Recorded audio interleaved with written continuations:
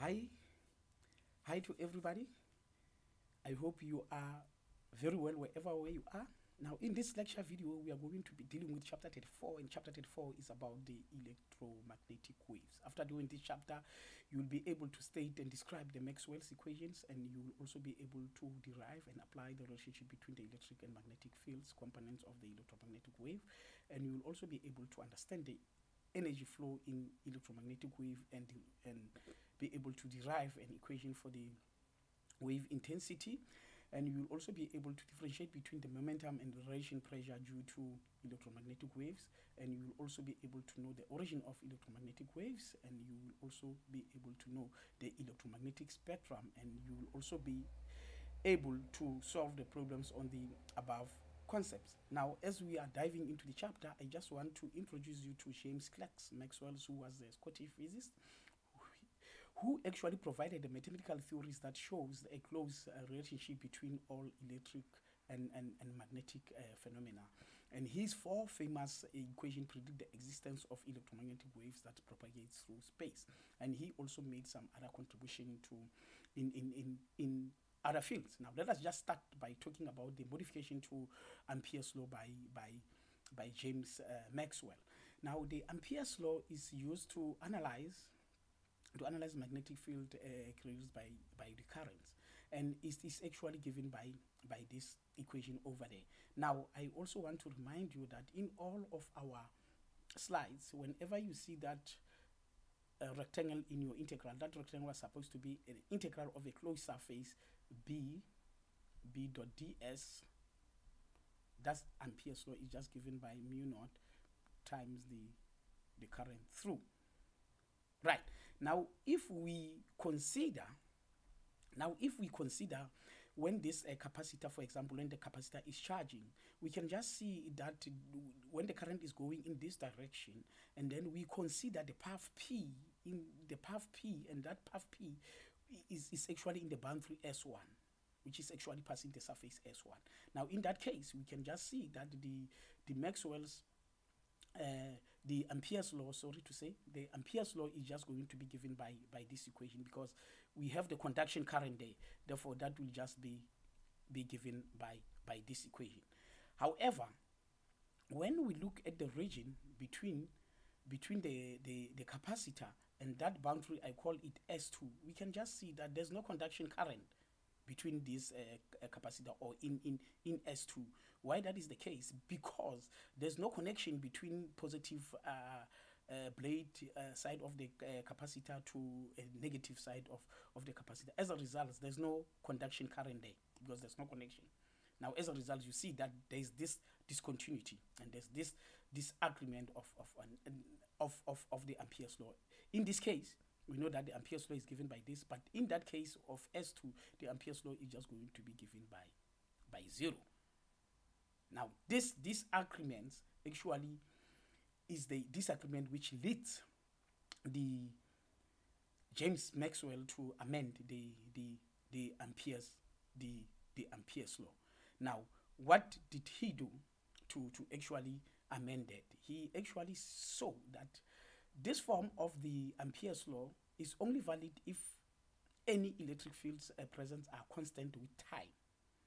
And Maxwell's modified the equation to include the time varying electric fields. And Maxwell's modified was to add the term called the displacement current. Now, in that case, the displacement current, which is denoted by I subscript D, is given by this, this equation. He has to add this factor called the displacement current into that uh, Ampere's law. Now, this term was then added by, uh, to Ampere's law and now sometimes called the Ampere-Maxwell's law. And therefore, that is just given by this equation. The Ampere's Maxwell's law is therefore given by, by this equation. Now, I will shortly derive the, the, the fact that the displacement current is just given by, by this equation here. As a result, this is what you are going. Now, this equation is actually showing that the magnetic fields, the B fields, are actually produced by both the conduction current, which is I, and the, by the time varying electric flux or electric fields. Right. Now, let us just consider this uh, uh, a capacitor plate. Now, in the region between these uh, plates, you've got the electric fields. You, you've got the electric fields. And then we can be able to tell what is the flux. Because the electric flux is just given by by this equation here. And the electric field is a constant. Take it outside and then it's just ea now from there we know what is the electric field of the of the plate capacitor. Of the plate capacitor is nothing else but it's just given by by this equation from the previous chapters. Right. Now in that equation here if you plug the the electric field there the areas will just cancel and then you end up with the flux is just given by by this. And this equation here looks familiar from the previous uh, chapters that the, the electric flux of the uh, plate capacitor is nothing else but it's just given by this. It, it is actually not depending on on the area. That's what we we have said. Now with this equation here and if you use the fact that the the dq is nothing else but it's just i times d, dt you can just be able to show that the displacement current is nothing else but it's just epsilon naught times the rate of change in the electric flux. Right. As a result that is why i told you that this uh, ampere's maxwell's law is therefore given by by the following equation now now that is the integral of a closed path b b dot dot ds. There's a vector sign there right? There's a vector sign there. All right let me just do it nicely. That is the the magnetic field. The magnetic field is nothing else but it's just given by by mu naught mu naught i plus the displacement current and we have just seen now that mu naught i then that will be plus mu naught epsilon naught. The the rate no this is only in in one dimension. That is just the rate the rate of change in in the electric flux the rate of change in in electric flux the rate of change in in electric flux. Right so that is your maxwell's amperes amperes law. Right. So that's that's what I, I i i wanted to to show you. Right uh, from what we have done now we are actually in the position where we could be able to do this uh, quick quiz. Now in an rc circuit the circuit which consists of resistor and capacitor the capacitor begins to discharge during the discharge in the region of a space between the the plates of a capacitor. Is there a conduction current but no displacement current? No no there's no conduction current as as as we have seen. Therefore the displacement current but no conduction current. Both conduction and displacement no no no. The correct answer for for this quick quiz is is is number b as as as we have seen that eh, between the plates of the capacitor there's no conduction current because there's no connection from one plate to to to the other. But there's just only displacement current that i've just derived uh, for you in the previous uh, slides. Right. Now let us also do the following quick quiz.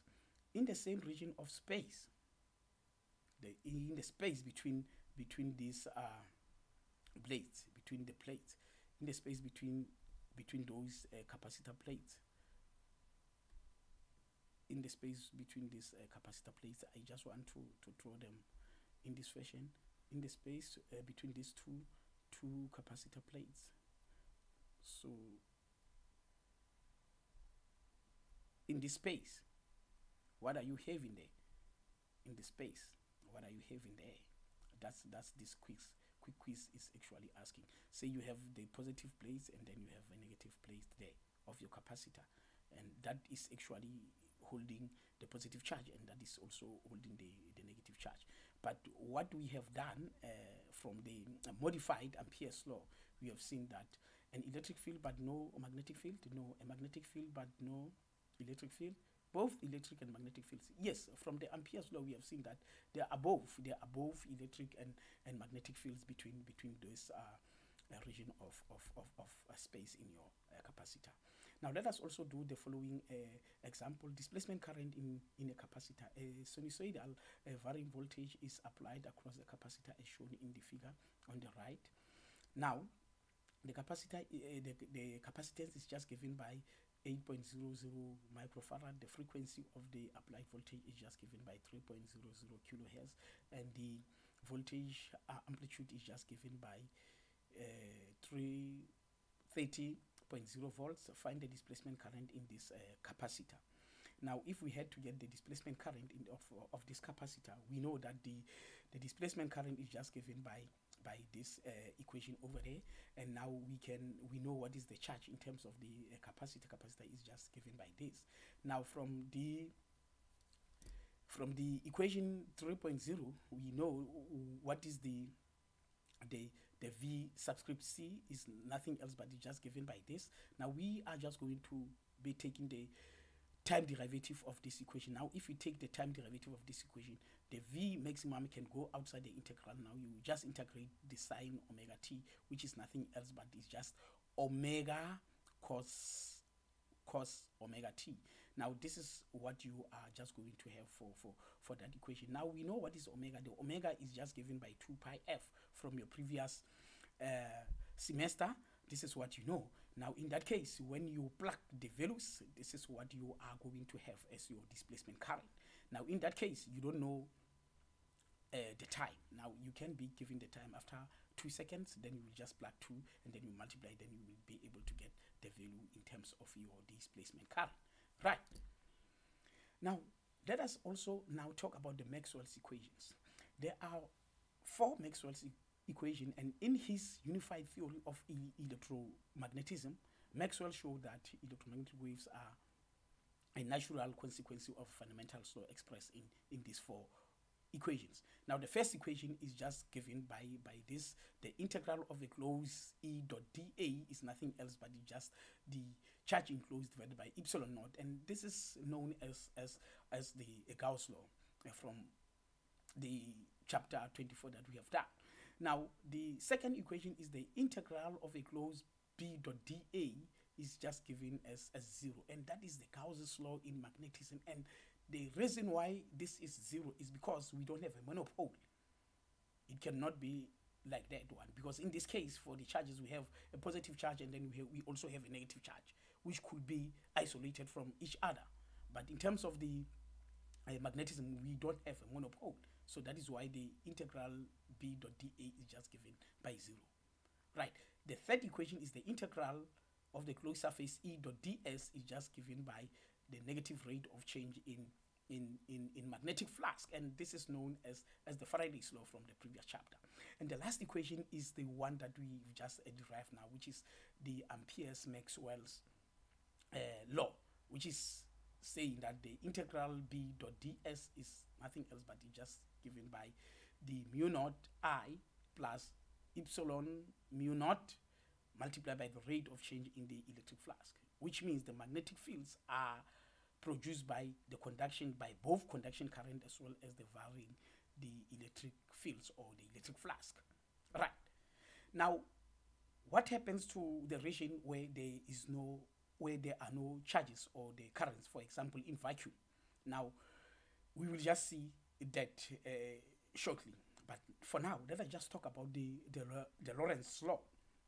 Now, once the electric and magnetic fields are known at some point in space, the force acting on the particles of charge q can be found by, by combining the total force. It must just be the electric force plus the magnetic force. The Maxwell's equation with the Lorentz force law completely describe all classical uh, magnetic interaction.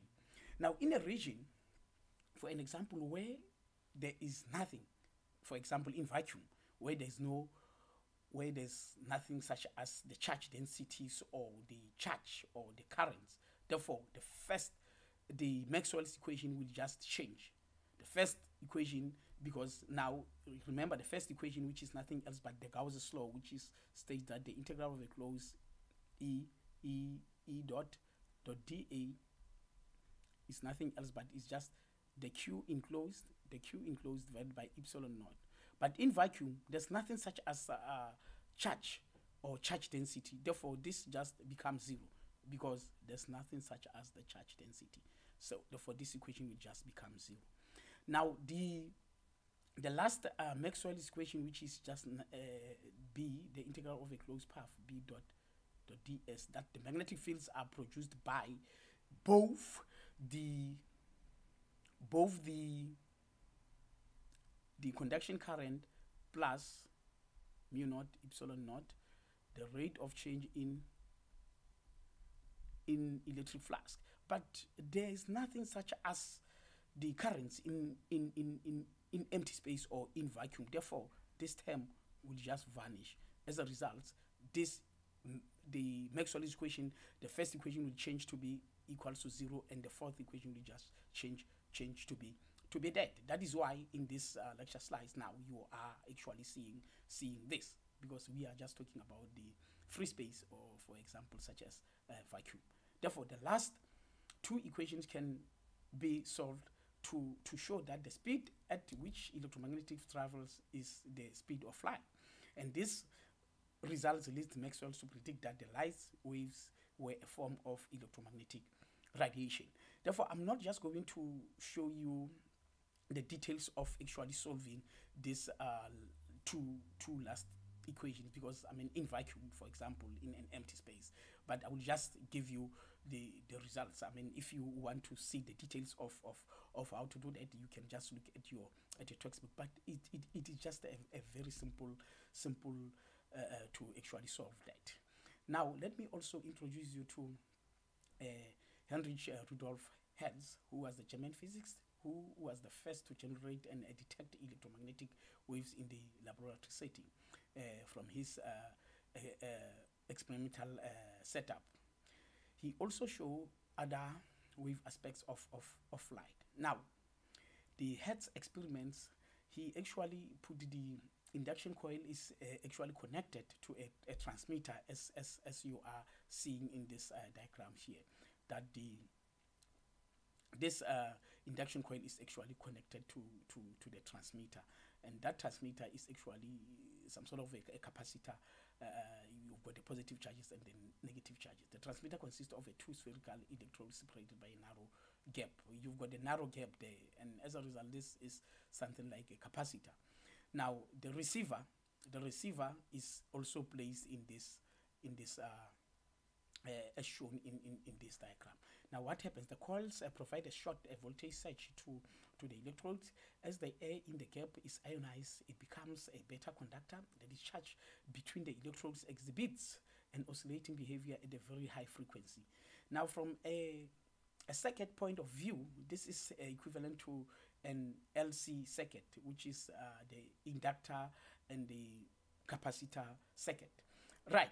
Now, the sparks were induced across the gap uh, uh, of the uh, receiving electrode when the frequency of the receiver was adjusted to match that of the transmitter. In a series of other experiments, Hertz also showed that the radiation generated by this equipment exhibited a wave uh, properties uh, properties such as the interference, uh, diffraction, reflection, and refraction, and, and as well as the polarization. He also measured the speed of, of, of this radiation. Right. Now, let me also introduce you to a plane electromagnetic waves. Now, we will just assume uh, that uh, the vector for the electric and magnetic fields in an electromagnetic wave have a specific uh, space-time behavior that is consistent with the Maxwell's equation. Now, we just have to assume an electric field wave travels in the x direction with a, a, a as shown in, in, in this diagram. So now this is your, your, your, your, your speed of wave. Now let me just show you the, uh, what I refer to. This is your, your wave. This wave is actually traveling into, into x-axis.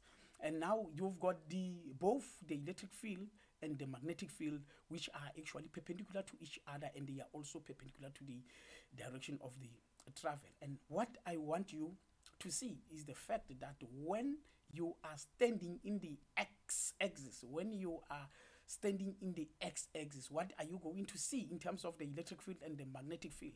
When you are standing in the x-axis, you are just going to see the magnetic field as going up like up like that.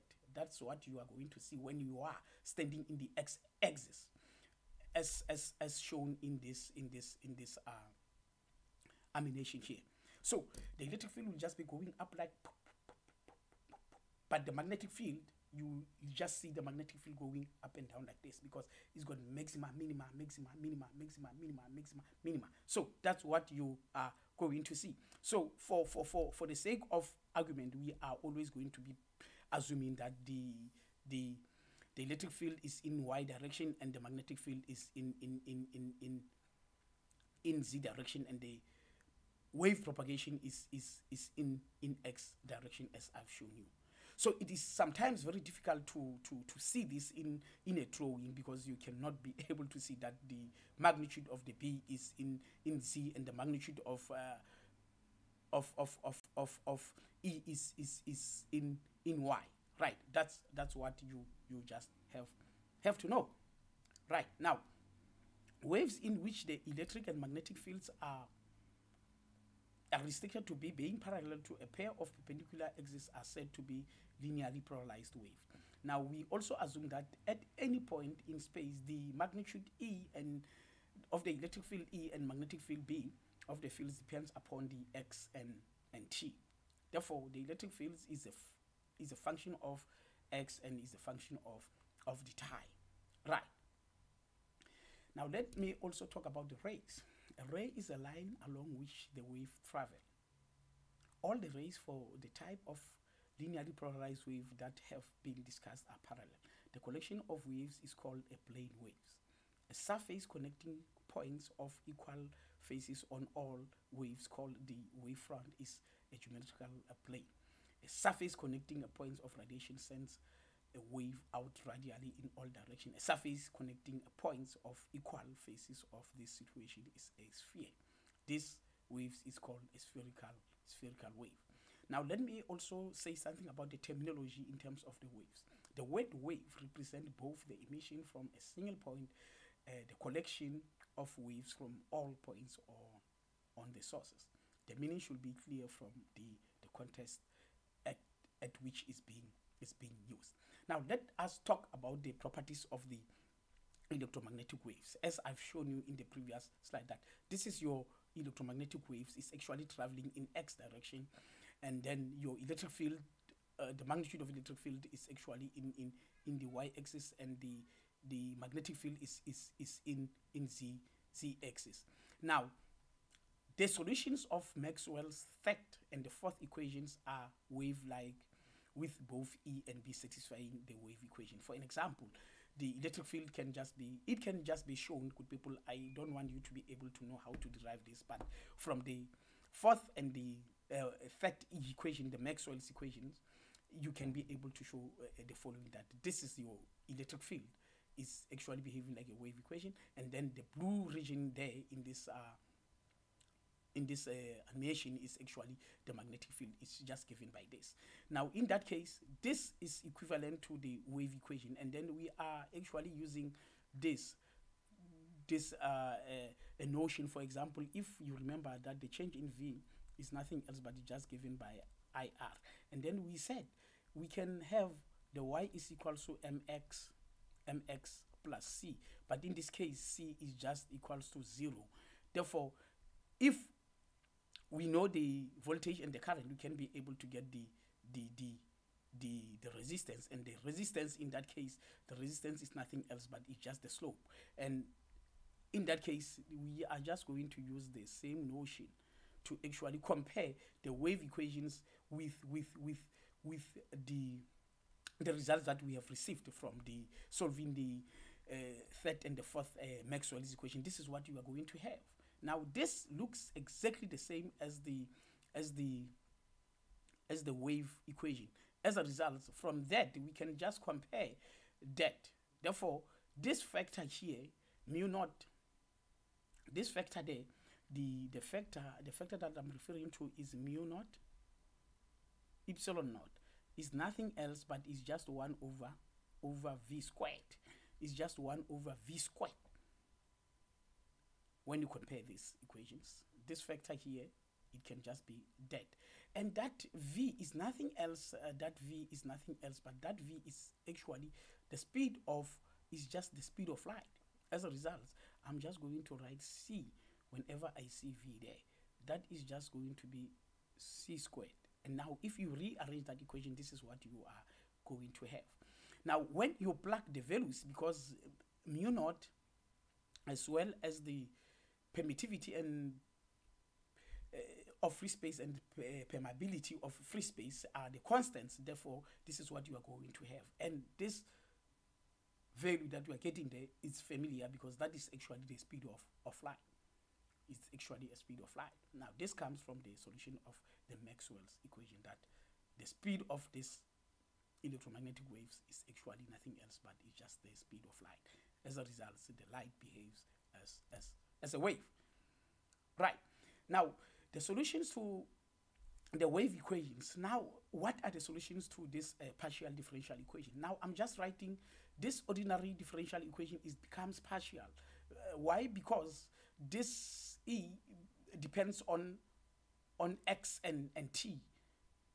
This depends on x and t. For an example, you remember the difference between the partial and, uh, uh, for an example, if I have a function of x which only depends on x, therefore this is ordinary. Whenever I take the, the derivative of this, I will just do d of d as a function of x and then I differentiate that function. But if this function, if this function f depends on x and t, therefore when I take the, I need to be specific. What am I taking to? Because now this is a function of x and t. Even if I'm taking the function, if I want to differentiate this with respect to x, but the fact that this function depends on t, I'm just going to take this as a partial differential equation of, of x and then I differentiate that function which actually depends on t. So when this function depends on two different uh, variables, uh, for example, x and t, position and time, therefore it becomes a partial. But when it only depends on one uh, variable, it is just the ordinary differential. And this is uh, what you have to know from your your calculus, your calculus class.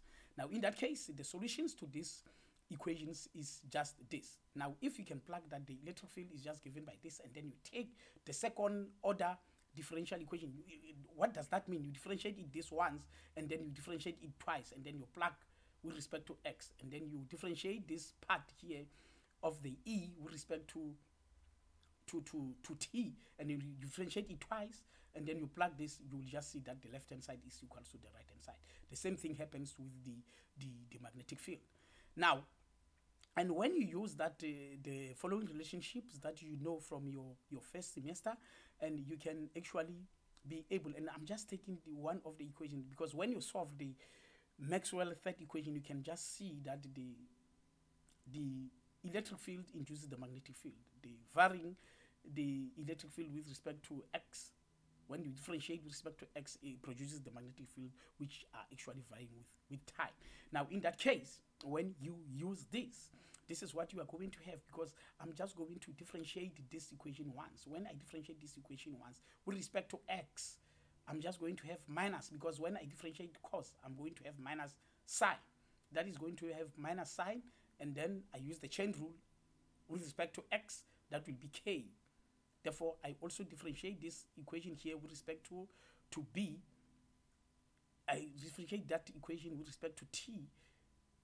When I differentiate cos, I'm going to have uh, uh, a, a, a, a sign, a, a minus sign, and that minus sign will just multiply with this minus. I'm going to end up with a positive. positive, and then I differentiate with respect to t. That will be omega outside the, the here. And now I can just equate these two equations. Now, when you equate this equation, this is what you are going to have.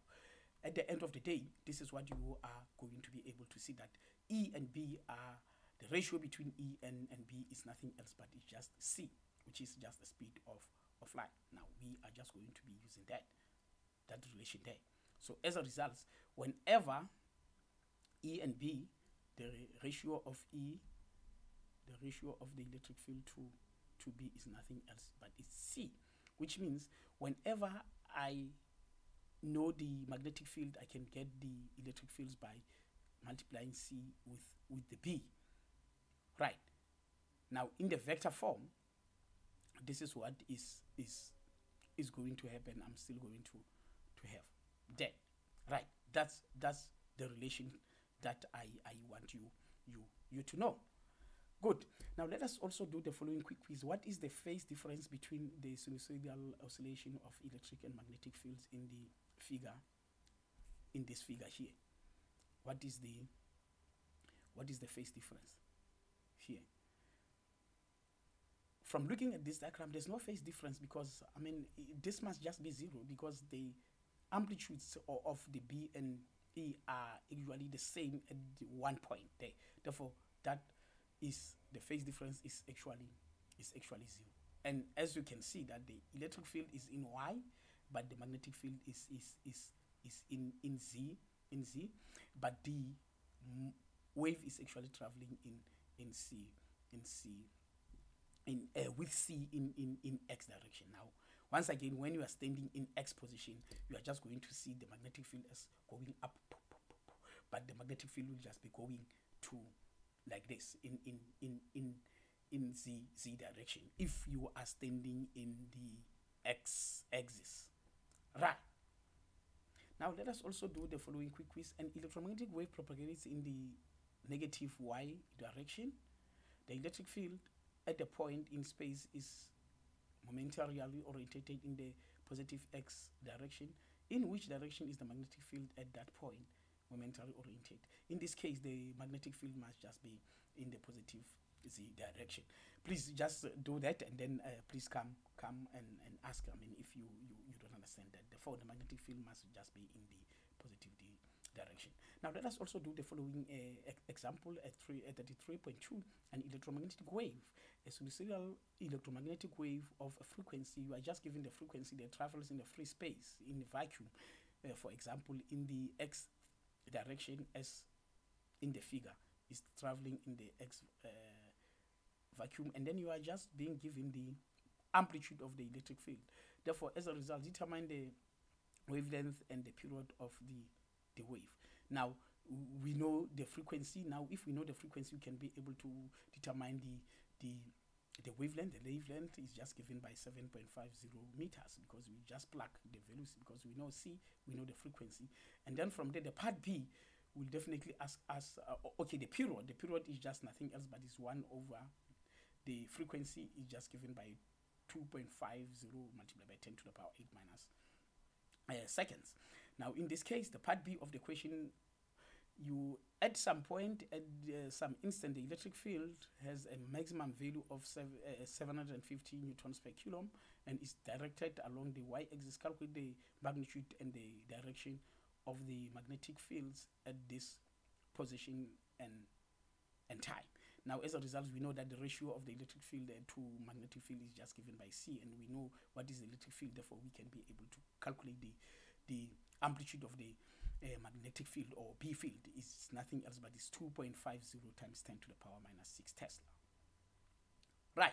Now let me also introduce you to what we call the, the, the Poynting vector.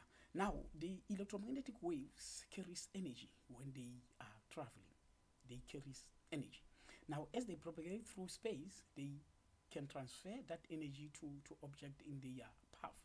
Now the rate of flow of this energy in an electromagnetic wave is described by a vector called S and S vector and that S vector is called what you call the Poynting vector. S is what you call the Poynting vector and now by definition the Poynting vector is just given by one is just given by by the Poynting vector is the Poynting vector is the vector is just given by 1 over mu naught and then E E cross B. E cross B. What I also want to remind you is the fact that the dot product, the dot product between two vectors, A dot V, the dot product between two vectors is always a scalar. This is always a scalar, a scalar quantity. But the the cross product of two vectors is always a vector. As a result, you can see that the Poynting vector is a cross product of two, two vectors, which means it is always it is always a vector. And what is also interesting as far as this is concerned, I'm just going to write the the I and then the J and then the K direction. Now if E is in if E is in I and B is in J, I cross J is in K, therefore S must be in this in this direction. Now the different things will just be if, for example suppose that I want to suppose that I want to if I want to put say I put E here and then I put B here what will be the S K cross J it must be in minus minus I. It must be in minus I. Therefore this vector here it will be in minus I. It will just be in in minus unit vector I. Right that's that's what I always want to to remind you with the cross product and the and the dot and the dot product. So this is the definition of the Poynting vector. Now in terms of the magnitude in terms of the magnitude and when we take into account that uh, the E and B are perpendicular to each other remember also that the the the cross product between two vectors in this case this is just the magnitude of A and the magnitude of B the sine of an angle between them. Now in this case E cross E cross B is nothing else but is the magnitude of E and the magnitude of B the sine of an angle between them what is an angle between E and B? The angle between E and B is nothing else but it's 90 the angle between E and B is nothing else but it's just 90 degree. And the cos uh, and the sine of 90 and the sine of 90 and the sine of 90 is just 1 this is pi half here which is 90 degree. Right that's what I want you to see. That why I am actually writing the magnitude of the the magnitude of the of the Poynting vector as as as this because the angle between E and B is 90 and the sine of 90 is just 1 so as a result this is what you are going to have but now we know what is the relationship between E and B. Now the Poynting vector, the Poynting vector, the magnitude of the Poynting vector is E B divided by mu naught. But now we know what is E. What is E in terms of B? What is E in terms of B? We know what is E in terms of B. We know what is E in terms of B. You remember that the the E, the ratio of E to B is nothing else but is the C. Now whenever I see E, I'm going to write whenever I see B, whenever I see B, I'm just going to write E divided by by C is nothing else but is B. Therefore, in this equation here, I'm just going to write this. When it's E whenever I see B, I'm going to write E. This E is this one here. I'm going to write E divided by C. But I already have mu naught there. Therefore, as a result, this is just going to give me E squared divided by mu naught mu naught C. So that's that's that's the equation that you are going to see here. And I can also write this in terms of B and this is what you are going to see.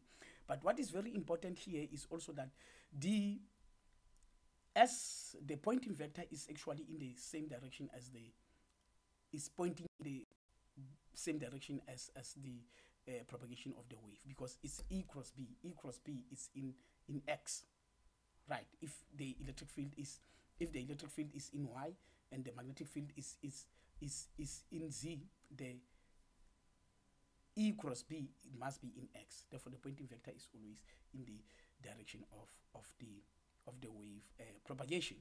Right. Right. That's that's what I I I also want to to show you. Now, the magnitude of S represent the rate at which energy flows through a, a unit surface area per uh, perpendicular to the direction of the wave propagation as I've shown you. This is the power per unit area and the SI units of the Poynting vector is nothing else but is the joules per second per meter square or is nothing else but it's just Weber per, per meter square. Right, the wave intensity, let us also talk about the wave intensity. Wave intensity, which is denoted by I, is the time average of the uh, Poynting vector over one or, or, or more cycles. When the average is taken, the, the time average of the cosine squared the cosine squared because that is just going to be the cosine squared. Now the, the cosine squared is nothing else but it's just 1 over 2. It's just half.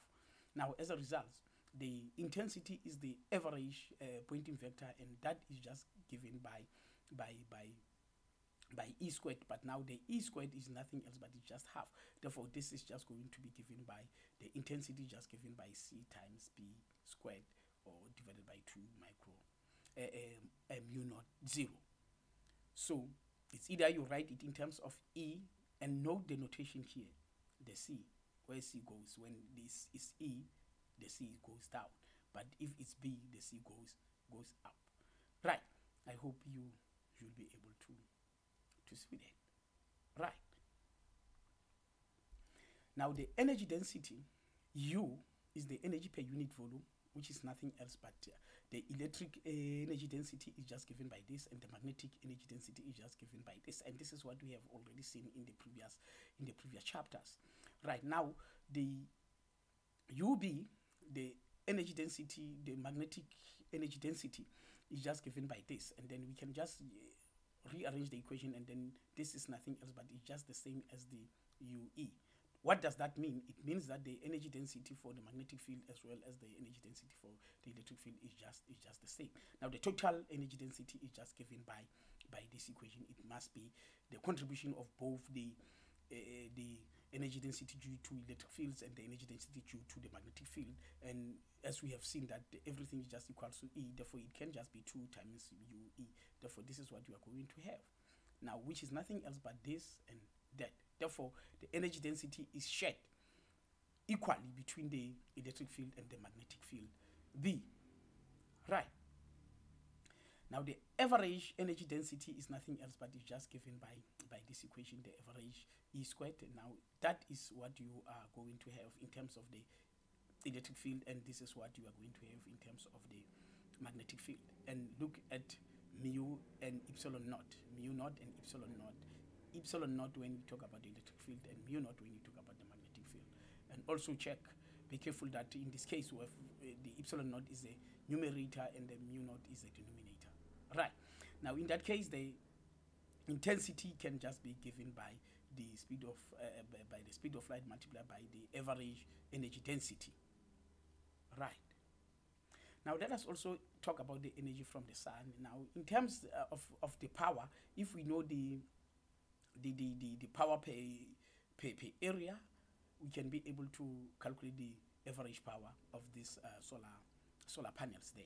Now, if you are given the the the the power per unit per square meter, and then you know the area of your uh, solar panels, therefore you can be able to get the average power. The average power is just given by this. If the the, the area is eight meters multiplied by 20.0 meters. Therefore, you can be able to calculate what is the, the, the average uh, power from uh, uh, uh, solar panels. Now, let us also do the following example. Estimate the maximum magnitude of the electric and magnetic fields of the light that is incident on the page of your textbook because of the visible light coming from your incandescent uh, DEX uh, lamp.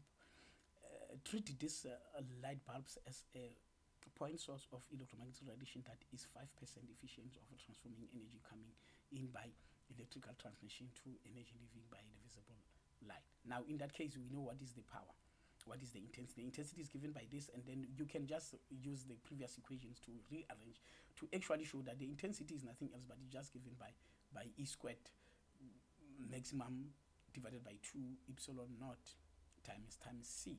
In that case, when you rearrange that equation, when you rearrange that equation, because that is just the intensity and you want the maximum electric field, therefore this is what you are going to have in terms of your electric field. Now from that equation, therefore, you can just plug the values, then you will be able to get the, the maximum electric field.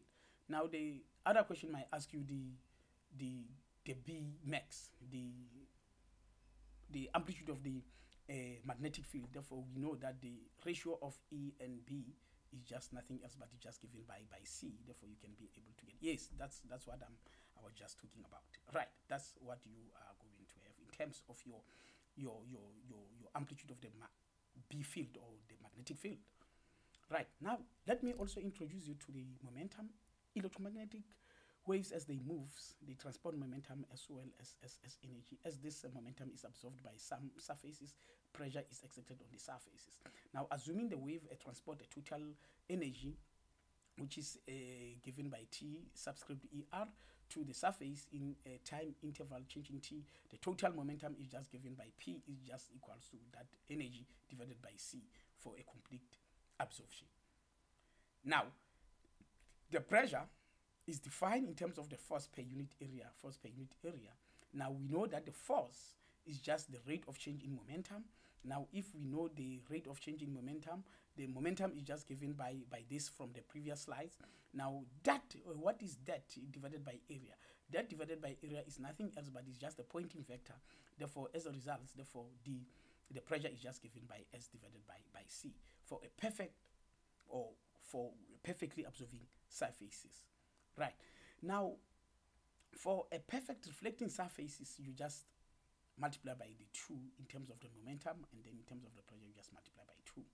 Now, for a surface with a, re reflectivity somewhere between a perfect reflector and a perfect uh, absorber, the pressure delivered to the surface will be somewhere between somewhere in between the S divided by C and 2S divided by by C because it is just between. Uh, for uh, different, uh, for the direct sunlight, the radiation pressure is just given by, by this 5 multiplied by 10 to the power minus 6, 9 uh, newtons per, per meter squared. Now let us also do the following quick quiz. To maximize the radiation pressure on the sails of a spacecraft using solar sailings, the sheet should be very black to absorb uh, as much as sunlight as possible or very shiny it must be very shiny to reflect as much as as, as the sunlight as, as as possible. Right now let us also do the following uh, uh, example uh, for for the pressures from a, a laser pointer. When giving a presentation many uh, people uses a, a laser pointer to direct uh, attention of the audience to inform on the screen. If if a power is just 3.0 milliwatts. Uh, pointer creates a spot on the screen that is 2.0 millimeter in diameter. Determine the radiation pressure on a screen that uh, reflects 70% of the light that strikes it. The power is 3.0 milli in this is a time average value. Now in that case we know what is the S average. The S, uh, the Poynting vector average is uh, given by this power average divided by A, but we know what is A. The A is pi r squared. Now it's pi r squared. Now we know that this is a diameter. We are given the diameter. Now we just have to divide the diameter by 2 and then we will be able to get the the this uh, uh, power per, uh, per square meter. Now if we have the power per square meter then we can be able to get the the, the average power by using this equation here. Now, if you use that equation here, because that is a fraction, that fraction of 70%, that 7% is 0 0.70. Therefore, that is what you are going to have in terms of your, your average power. Right. Now, let me also introduce you to the last uh, section of this uh, lecture video, which is nothing else but the, the electromagnetic uh. Now, various types of electromagnetic waves makes up the electromagnetic spectra. There is no sharp uh, division between one kind of electromagnetic wave and the next. All form of the uh, various types of radiation are produced by the same phenomena accelerating charges by just accelerating charges. Therefore, you can just produce this electromagnetic radiation. Now, note the overlap between the types of waves. Now, this is your your your your electromagnetic spectra which which also involves uh, uh, many, for example, gamma rays, uh, X-rays, ultraviolet, and then you have a visible region which is very small. This is where a woman eye can actually detect, and this is actually in terms of the wavelength, in terms of different colors. and you've got infrared infrared which is actually the heat waves and then the microwaves you've got the tvs and the radio waves or the fms and then that falls in the under the radios and then you also have the the EMs and then you also have the the long waves. Now the visible light is a small portion of the spectrum as as as as you can see. It is actually from say 400 nanometer to 700 nanometer. Now in this case this is actually given in terms of the frequency but uh, we can if we know the frequency we can be able to know the wavelength from the uh, the relations that you know. And in this case it is also given in terms of the in terms of the the the wavelength because from frequency to wavelength you just need that factor of c to actually get uh, one from the other. And these types are distinguished by a frequency or or wavelength because the speed is just the same for for for for these waves. Now let us just talk about the radio wave. Radio waves wavelength uh, of more than 10 to the 4 meters to about 0.1 meter used in in radios and television communication system. And the microwaves wavelength is about 0.3 meters to 10 to the power minus 4 meters. Is well suited for for the radar systems as well as microwave that you are actually using in your homes. That is why it is actually called a microwave because it is actually using the the microwaves. Right. Now let us also talk about the infrared waves. The infrared wave uh, wavelength is about 10 to the power minus 3 meters to 7 times 10 to the power minus 7 meters and incorrectly called the the heat waves. It is actually incorrectly called the heat waves as as, as i've said. All right. Now uh, produced by hot objects and uh, molecules readily absorbed by uh, most uh, materials. And let us also say something about the visible light. Part of the spectrum detected by a human eye as i've said most sensitive about at about uh, uh, 500 uh, 5.5 multiplied by 10 to the power minus 7 millimeter yellow to cream which is nothing else but they say 550 nanometers. That's yellow to to to cream color. Right. Now the different wavelengths uh, correspond to different colors in terms of the visible light. Now in terms of the visible light as you can see that the visible light will start from say 400 nanometer to 700 nanometer. And for example the green the green is in the region of say 485 to 560 this is your green. And then you can also look at the blue. The blue is 430 to uh, 485 and and and so on. The range is from red red to to to the uh, a violet color. Right so this is 400 to 700 right now the ultraviolet light uh, covers about uh, 4 multiplied by 10 to the power 7 to 6 multiplied by 10 to the power minus 10 meters. Uh, this is the sun. Is an important source of uv light. Most uv light from the sun is absorbed in the stratosphere by by the by the ozone layer. Now the x-ray that's why they are actually not reaching reaching us. Now x-rays wavelength are about 10 to the power minus 8 meters to 10 to the power minus 12 most common source is, is as rating of high energy electron striking a, a metal target. And this is actually used in the uh, diagnosis tools in, in, in medicine. For example when you are taking your, your x-ray it's, it's actually a type of uh, radiation which is actually used for, for your imaging in, in, in hospitals. And the gamma rays wavelength is about 10 to the power minus 10 to 10 to the power minus 14 meters emitted by radioactive nucleus, highly penetrating and causes serious uh, damage when absorbed by a living tissues because it can also causes causes the cancer. Right now, looking at objects in different portions of the spectrum can produce a different uh, different emotion.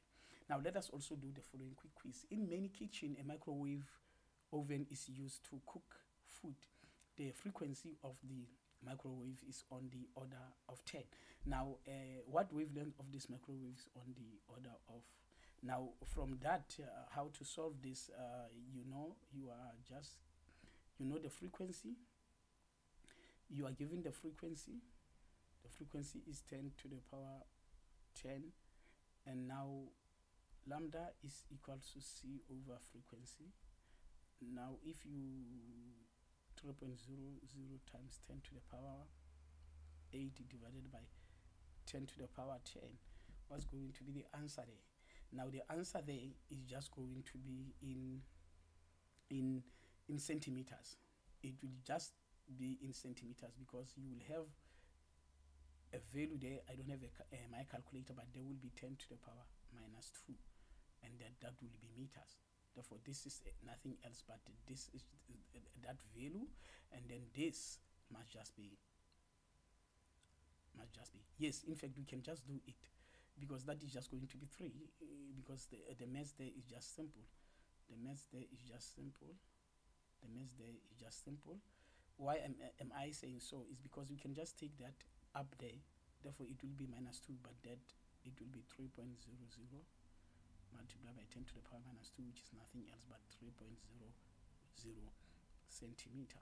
Therefore that is why the answer is actually in centimeter. Right. So that's that's that's the correct uh, answer for that quick quick quiz. Right. With that good people i would like to pause here and these are your solutions. These are your tutorial problems and keep well. I will see you in the next lecture lecture lecture video. Bye bye